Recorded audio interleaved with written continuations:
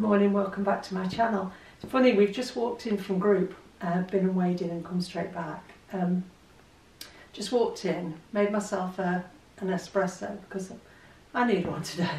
And the rain is beating on the windows. And I'm planning to go out very shortly and uh, I'll tell you about that in a minute. Right, have you ever had one of those mornings when you really feel like you need an espresso? Well, excuse me, because I do. Oh god, that's strong and that's hot. Um, I'm drinking Zimbabwe at the moment. Is it Zimbabwe? Yeah. Yep.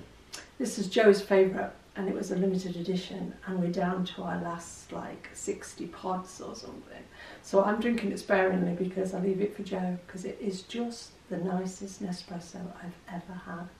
Uh, Forgive me for drinking on camera. I don't like it when other people do it, I'll be honest, but it's just one of those days when I have got little time and great needs. Oh, I love the creamy bit on that. Right, Let's see if that gets me going today.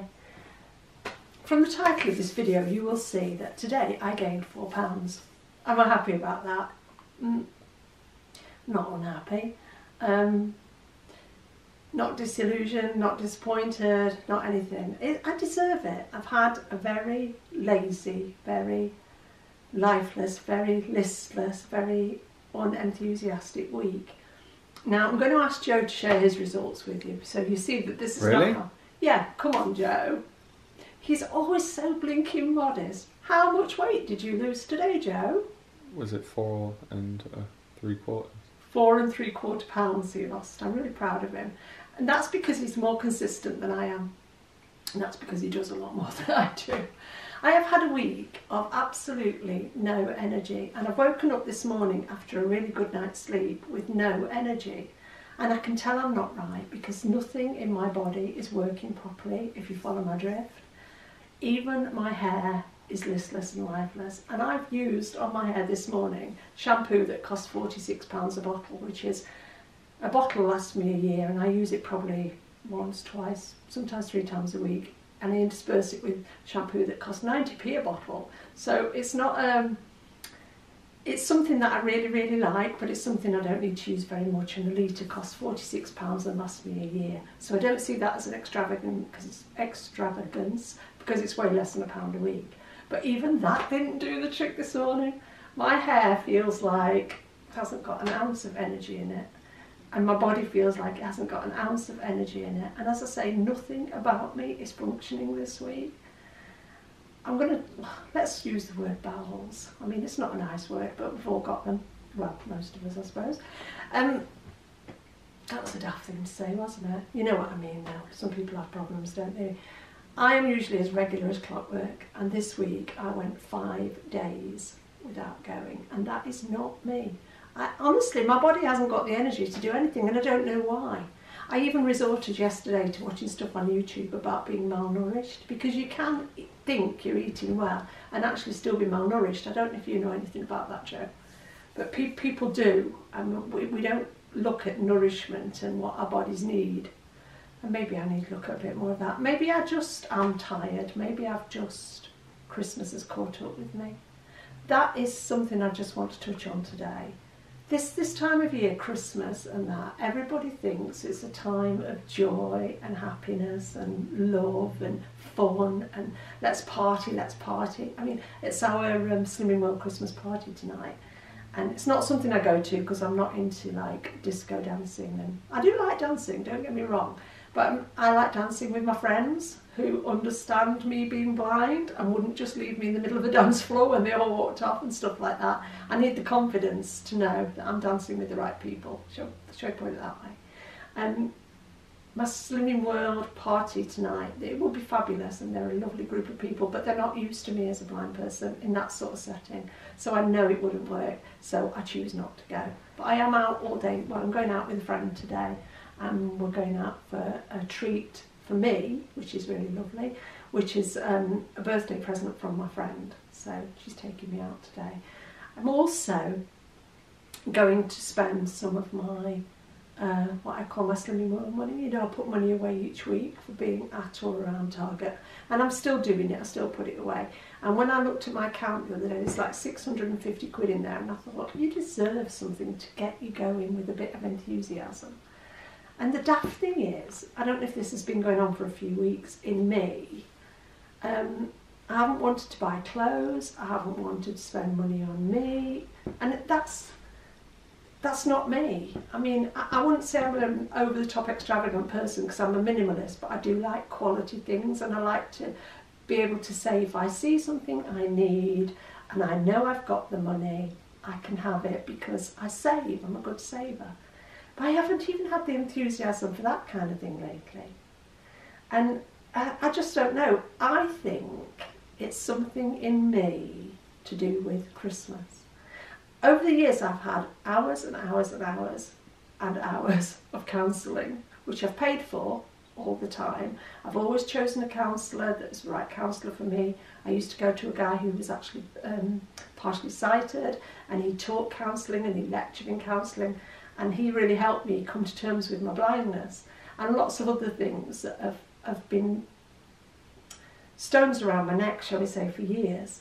And I believe in counselling and that, but something I've never touched on in counselling, and maybe I need to, is Christmas because I absolutely loathe Christmas. And I don't mean I'm a Scrooge and I'm a bah humbug and I'm all that. I just don't, I don't enjoy it. I like the present buying, I like the present giving. We went to see my family last weekend and we all exchanged presents and, and I like that and I like buying for my friends and, and, and even this year I've enjoyed wrapping up the presents and deliver, you know, I've only got a couple, a few left to deliver and exchanging presents with people you love and receiving presents from people who love you. And I, I enjoy that part, but I just don't enjoy Christmas. And I was lying in bed last night thinking about why don't I enjoy Christmas? Why am I like this every year? In fact, I might go back and look at my previous two years' um, videos at this time of year and see if, see if I was talking in a similar fashion because it it builds up in me and it'll burst on Christmas Eve or Christmas Day and it often comes out in tears. I can get really upset and I don't know why, except when I was a little girl and we had a loving relationship. Don't laugh You always bring this back to No, like you being a girl childhood. and grandma Grandma's lovely. beating on you. she never beat on me. She only ever hit me once in my life. That was with a hairbrush, and she never did it again because my dad caught her. Um, but actually, it was quite funny at the time.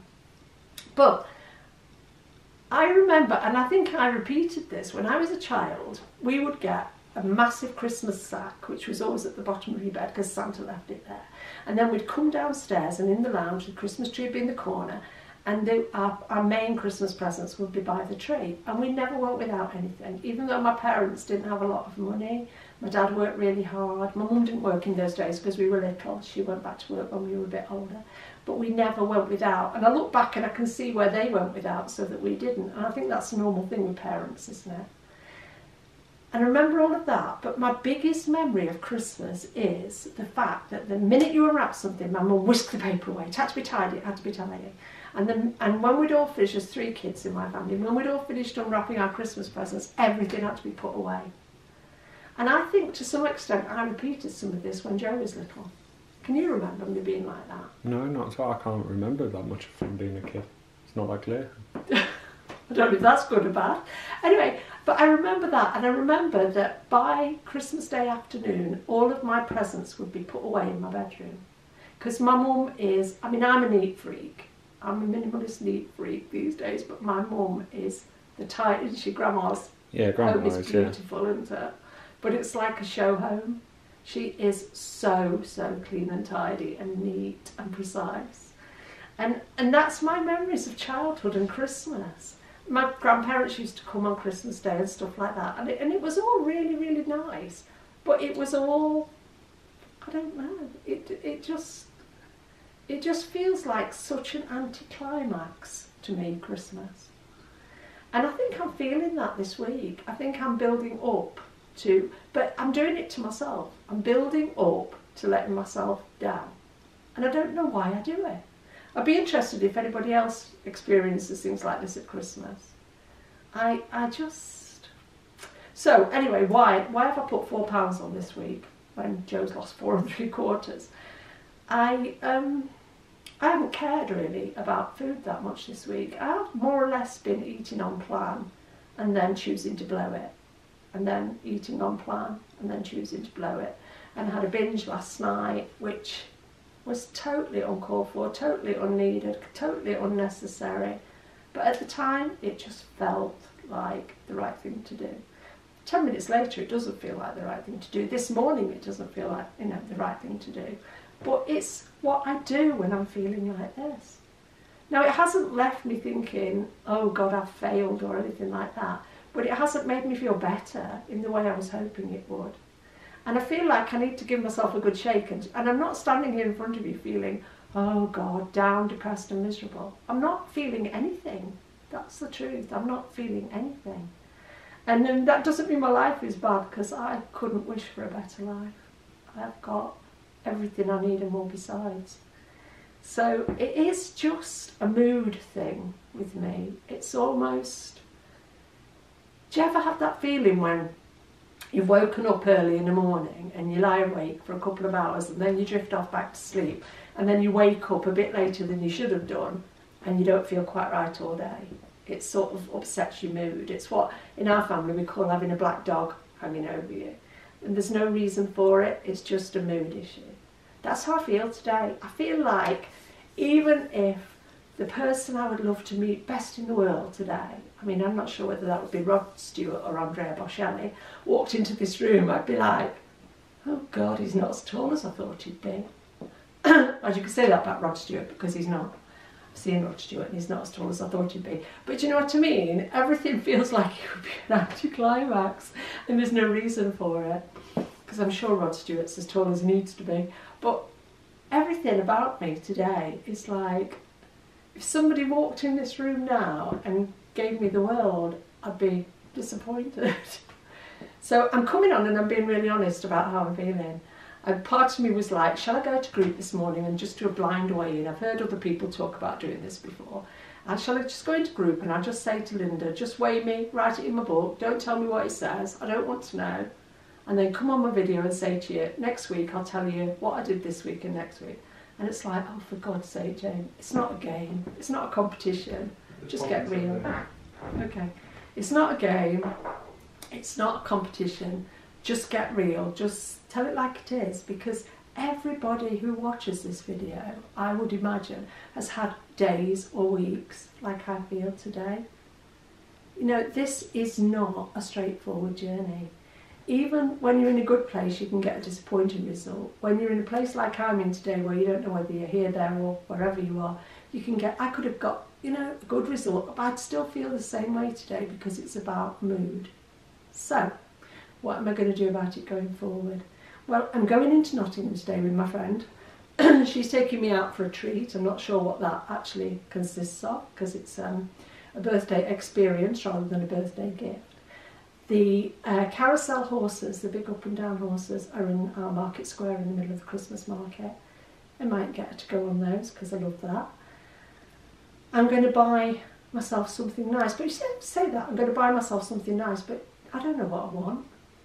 Well, that was something I could tell you. I was in um, John Lewis last week and I've been hanging my nose over this oven-proof Le Creuset dish for weeks and it's like £28 and a shall I shan't, a shall I shan't.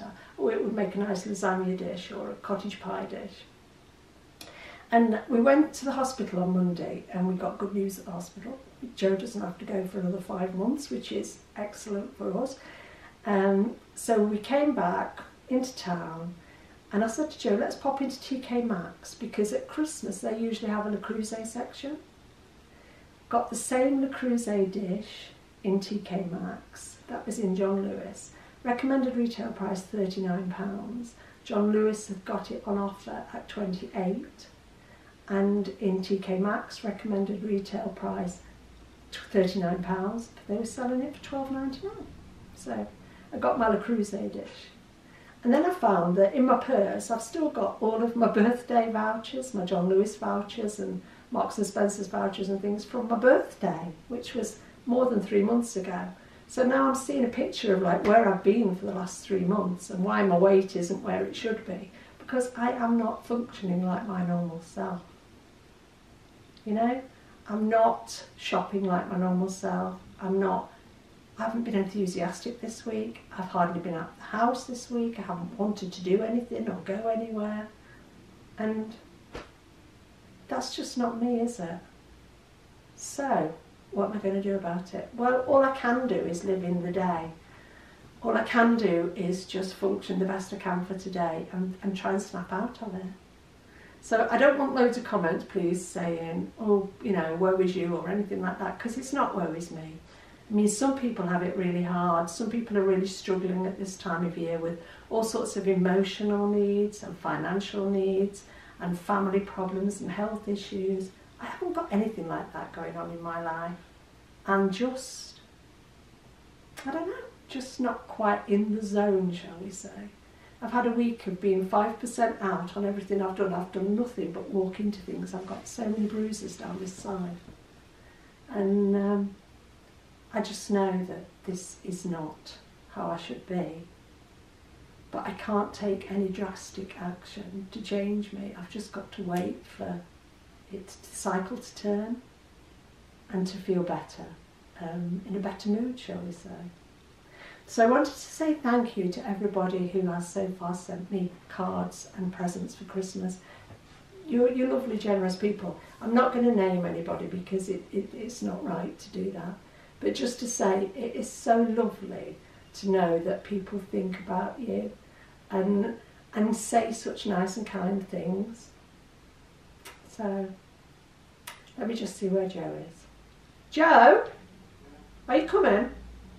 It's just, why do they disappear when you need them? I'm standing here thinking, how do I turn the camera off? How do I say goodbye and turn the camera off? Right, I'm going. Just hold me in your prayers and think, hope she's in a better place next week. So for me, four pounds on. For Joe, four and three quarter pounds off. And another week. Another week close to Christmas. And thank God it'll soon be over.